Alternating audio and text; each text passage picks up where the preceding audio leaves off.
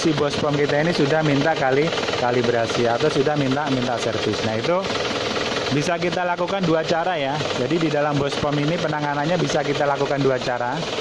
Kita matikan dulu. Jadi di dalam penanganan bos pom ini bisa kita lakukan dua cara. Yang pertama adalah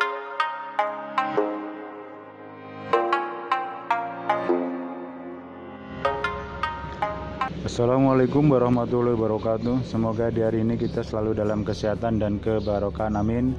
Untuk hari ini akan kita bahas yaitu tanda-tanda bos pom minta kalibrasi ya. Mungkin bagi rekan-rekan sekalian yang memiliki mobil Panther sudah tidak asing lagi. Bila terjadi trouble di bos pom itu ya kadang-kadang cukup merepotkan ya. Cukup merepotkan karena bos pom minta kalibrasi itu tandanya hampir persis yaitu sama kayak mobil masuk angin. Cuman dia ada tanda-tanda khusus. Kalau memang kondisi bos pom kita itu sudah minta kali kalibrasi. Jadi untuk posisi bos pom sendiri itu di sini ya. Jadi dia ini namanya bos pom berada di sini. Nah sebelum kita memfonis kondisi bos pom kita ini minta kalibrasi. Karena untuk kalibrasi bos pom sendiri biayanya juga cukup lumayan ya. Kisaran di sekitar 2 jutaan lebih. Itu ada yang perlu kita cek dulu ya. Yang pertama adalah kita pastikan adalah untuk kondisi daripada mobil kita ini tidak masuk angin adalah dari klem-klem untuk untuk solar ya. Jadi klem-klem untuk bahan bakar solar semacam ini ya. Jadi untuk selang-selang semacam ini, ini kita pastikan memang kondisi klemnya bagus dan dia masih rapat dan kondisi pompa juga masih berfungsi dengan dengan normal ya kan. Karena apa? Karena kalau memang kondisi pompa dia tidak berfungsi dengan normal itu ya bisa jadi bukan bos pomnya yang minta kalibrasi tapi karena memang kondisi pompanya yang sudah sudah tidak normal. Atau mungkin kondisi klem. Terutama untuk mobil-mobil yang usianya juga sudah agak lama. Jadi klem ini juga istilahnya itu harus diganti ya. Jadi dia tidak bisa pakai klem standar buatan pabrik terus. Karena kalau sering kita gunakan kita lepaskan ini lepasnya mudah. Dia cuma tinggal di tekan seperti ini ya maka dia akan lepas. Nah otomatis kekuatan daripada pernya itu dia juga lama-lama untuk menge untuk ngeklaimnya itu juga akan akan berkurang. Jadi dia tidak akan selamanya yaitu kuat untuk untuk ngeklaim. Makanya untuk mobil-mobil yang usianya sudah agak lama itu biasanya dia diganti itu dengan klaim model baut yang bisa dibaut dengan tangan atau dia dibaut dengan dengan obeng. Nah itu. Jadi kita pastikan dulu adalah klaim-klaim semacam ini dia ini rapat. Nah termasuk adalah untuk filter filter solar ini juga. Dalam pemasangannya juga dia ini kondisinya rapat atau tidak ada celah. Nah biasanya kan ada celah di dalam pemasangan filter ini karena mungkin karetnya tidak pas atau melintir atau gimana sehingga menimbulkan angin itu masuk ke dalam ke dalam filter filter solar. Yaitu juga bisa menyebabkan mobil itu masuk masuk angin. Yang tak kalah penting adalah juga harus kita perhatikan adalah di dalam selang hawa ya. Jadi kalau untuk semua mobil itu biasanya dia punya selang selang hawa tank. Itu juga harus kita cek. Di situ kondisinya dia ini uh, tersumbat atau tidak. Karena untuk selang hawa daripada mobil Panther ini dia cukup kecil ya dibandingkan dengan mobil mobil bensin. Karena memang sistem kerjanya beda. Jadi kalau untuk mobil bensin sendiri dia ini sistem kerjanya dia ditarik dengan rotak. Kalau untuk sistem mobil diesel ini dia ini kerjanya adalah dia itu bos pom menarik. Jadi bos pom itu mempunyai klep atau katup fungsinya adalah untuk menarik BBM ke dalam ruang ruang bakarnya. Jadi kalau di dalam mobil diesel itu untuk selang hawa kita ada di sini ya nah ini. Ini selang hawanya ini ada kecil. Ini selang hawa ini ya ini kadang-kadang yang sering bermasalah. Nah ini ini dia menggunakan filter di dalam sambungan selangnya. Jadi selangnya ada di sini. Kadang-kadang mobil masuk angin semuanya sudah kita tangani di bagian depan. Ternyata tidak tidak bisa-bisa. Coba cek di bagian selang selang hawanya. Nah ini ya. Ini ada selang. Nah ini selang ini. Ini kan ada dua selang ya. Nah ini. Inilah selang yang kecil ini kadang yang sering bermasalah. Nah ini di sini ini ada filternya ini. Nah ini ini kita lepas sudah itu kita bersihkan untuk filternya. Nah ini kadang-kadang sering kotor di di sini. Nah kalau seandainya ini sudah kita cek kita bersihkan terus kita anggap semua klem-klem yang ada di dalam saluran selang untuk solar itu kok bagus? Sekarang adalah kita cek yaitu dengan cara kita menghidupkan mesin mobil mobil kita. Jadi untuk mobil Panther itu bos pomnya itu minta kalibrasi atau minta perbaikan itu biasanya kalau kita menghidupkan mesin di pagi hari di dalam menghidupkannya gampang ya tidak seperti mobil masuk angin. Jadi kalau mobil masuk angin itu biasanya hidupnya susah.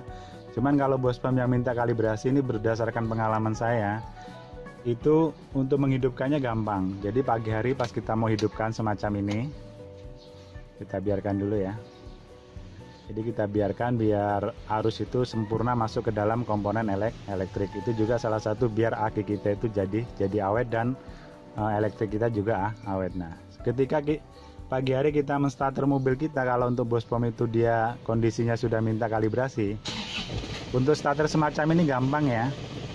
Jadi dia kita starter itu langsung hidup jadi langsung nyala ya kan? Sudah itu dia lama-lama tenaganya itu akan ngedrop. Jadi dia makin akan ngedrop seperti mati ya kalau seandainya tidak dibantu dengan menggunakan gas. Nah jadi harus kita bantu yaitu dengan gas. Nah jadi kita harus tekan gas. Nah harus tekan gas semacam ini ya nah baru dia bisa bisa normal normal lagi. Nah itu adalah tanda-tandanya kalau seandainya bos pom kita itu minta kali kalibrasi. Itu yang pertama. Yang kedua adalah itu begitu kita naik ke, ke gas tinggi di gasnya juga nggak bisa tinggi-tinggi ya Begitu kita gas tinggi, dia ini seperti kekurangan suplai bahan bakar. Jadi istilahnya itu kalau mobil itu belum panas bener, kita mau buat jalan itu dia mati hidup, mati hidup gitu ya. Karena dia begitu kita gas kayak ngempos, jadi kayak tidak ada tenaganya. Jadi minimal kadang-kadang kita panasin sampai 15 menit atau mungkin kadang sampai 30 menit baru dia itu begitu digas dia bisa lancar tidak tidak mati. Nah itu. Itu yang saya alami seperti itu ya. Jadi begitu kita hidupkan mesin kita mau buru-buru jalan itu tidak bisa karena kondisi mesin belum panas. Tapi kalau sudah mesin panas dia itu lancar lancar saja. Beda lagi kalau seandainya kondisi mesin sudah panas ya.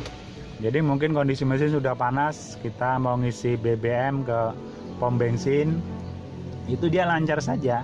Kita starter jerk langsung jalan tuh lancar saja karena kondisi mesin sudah sudah panas kondisi bos pom sudah istilahnya itu ya apa sudah sudah bekerja. Itu biasanya lancar saja tidak terjadi masalah ketika kita menghidupkan pertama pertama kali. Beda dengan pas kondisi mesin masih dingin. Beda pas kondisi mesin masih dingin seperti itu dia kita hidupkan tek sudah itu dia makin makin ngedrop. Nah itu. Terus yang tanda berikutnya itu adalah ketika mobil ini kita hidupkan semacam ini terus dia itu mau ngedrop jadi tiba-tiba dia itu tenaganya itu mau turun ya jadi mesinnya itu mau mati.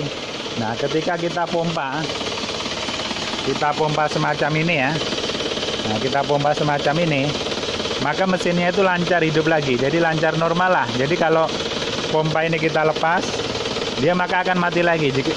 Dan kita ketika dia ini kita pompa lagi dia hidupnya normal lagi atau langsam lagi. Kita ini pompa ini kita lepas maka dia akan akan mati. Nah itu adalah menandakan bahwa mungkin kondisi bos pom kita ini sudah minta kali kalibrasi atau sudah minta minta servis. Nah itu bisa kita lakukan dua cara ya. Jadi di dalam bos pom ini penanganannya bisa kita lakukan dua cara. Kita matikan dulu. Jadi di dalam penanganan bos pom ini bisa kita lakukan dua cara. Yang pertama adalah bisa kita langsung servis bos pom kita yaitu kita kalibrasi lah istilahnya itu ya. Karena untuk sistem kerjanya kan itu sebenarnya menyedot ya. Jadi dia itu menyedot solar melalui filter ini kan. Nah sebelum nyampe ke dalam filter ini dia kan dibantu dengan uh, pompa solar ini sistem kerjanya seperti itu nah makanya sehingga tidak boleh ada ada udara karena kalau seandainya ada udara maka sedotannya itu tidak tidak maksimal nah itu ya jadi yang pertama mungkin bisa kita kalibrasi tapi ya dengan biaya yang cukup cukup lumayan. Yang kedua atau kita pasangin rotak. Nah itu juga bisa ya. Jadi mobil Panther semacam ini kalau sudah bos pomnya itu bermasalah minta kalibrasi, selama dia tidak mengganggu daripada kinerja mesin, kita rasakan kinerja mesin tidak masalah, tidak boros, tidak ya pokoknya tidak boros lah, terus tenaga juga normal, maka kita pasangin rotak itu tidak masalah. Ya kan kita pasang rotak. Nah pemasangan rotak itu adalah dari selang dari selang tank serang tank ini ya. Selang tank ini itu kita putus atau kita lepas sudah itu kita masukkan ke dalam rotak. Nah dari rotak itu kita masukkan ke dalam uh, selang ke dalam rotak kita masukkan ke dalam pompa pompa solar. Atau mungkin kita tanpa menggunakan pompa solar. Karena di dalam mobil Panther juga kan ada namanya filter solar. Kalau seandainya kita takut ada sedimen yang terbawa atau air yang terbawa otomatis dia akan ngendap di dalam filter filter solar. Jadi kita bisa langsung tanpa menggunakan pompa solar dari rotak dari selang tank sini sudah itu masuk ke dalam filter filter solar. Itu juga tidak tidak masalah dan itu tidak mengganggu daripada kinerja mesin maupun bos pom ya. Jadi jangan khawatir. Walaupun kita pasang sampai bulanan tahunan selama uh, kondisi mesin kita itu normal BBM tidak boros tenaga masih normal itu tidak tidak masalah. Tidak akan mengganggu kinerja mesin yang ada di di dalam. Karena pada fungsinya rotak ini adalah untuk membantu menyedot solar ke tank dialirkan ke dalam filter solar sudah itu dia akan dialirkan ke dalam bos bos pom karena dia sebagai pengganti daripada bos pom yang kemampuan untuk menyedotnya itu sudah sudah lemah. Ya, jadi bos pom itu dia kan menyedot ke, karena kemampuan menyedotnya sudah lemah makanya lah dibantu dengan dengan rotak ter, tersebut dan itu sudah banyak yang mengaplikasikannya. Insya Allah kapan-kapan saya kasihkan contoh yaitu mobil yang dia itu sudah memakai rotak ya. Dulu mobil itu saya pakai cuma sekarang sudah uh, sudah di tangan orang dan itu dipasangin rotak. Itu sampai sekarang juga nggak masalah gitu loh. Tidak tidak terjadi trouble apa pun di jalan maupun selama ini juga satanya sama pemiliknya aman aman-aman saja. Nah itu ya.